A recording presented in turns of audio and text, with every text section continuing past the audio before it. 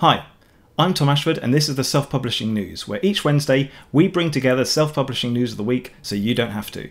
This week, Amazon turns 25, a father writes 365 children's books in as many days, and beach reads are making way for literary fiction. Keep watching.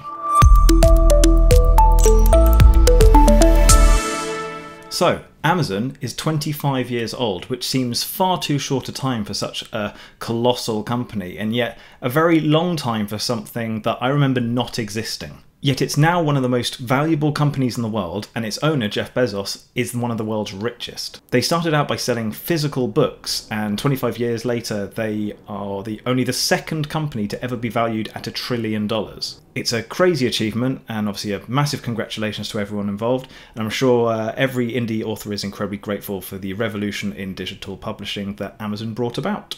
You can read more about Amazon's journey from a garage company to a global empire via the description below. Now, our next story is about how a father is writing 365 books in as many days for his daughter. Now, books is probably a bit of an exaggeration. Some of them are very, very short stories, as children's books often are, but particularly short versions, and some of them are little more than poems. But he's still creating 365 individual stories that his daughter can read when she grows up.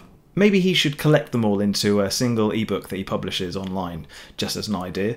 Uh, you can read more about Matt Zurbo's incredible story uh, via the link in the description below. And last but not least, it's your summer reading guide. Don't worry, SPF aren't actually recommending any books for your summer vacation, though, of course, if you want to read any of ours, that would be fantastic.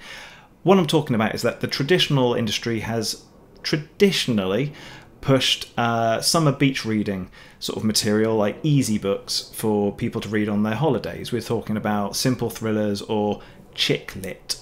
Well, it seems as if things are changing. People aren't interested in just picking up romance novels to read on the beach anymore. They're just as likely to grab a copy of something that's literary fiction, for example.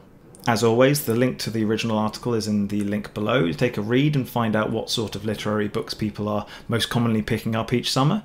And of course, some of these book sales numbers are quite paltry compared to successful indie authors, so as usual, it's just a case of write a good story, and eventually, with the right marketing, readers will come. Okay, so that was the self publishing news of the week. If you enjoyed the video, make sure to subscribe by pressing the button below. And as usual, if I've missed out any news that you think's worthy of mention, then please leave a comment below.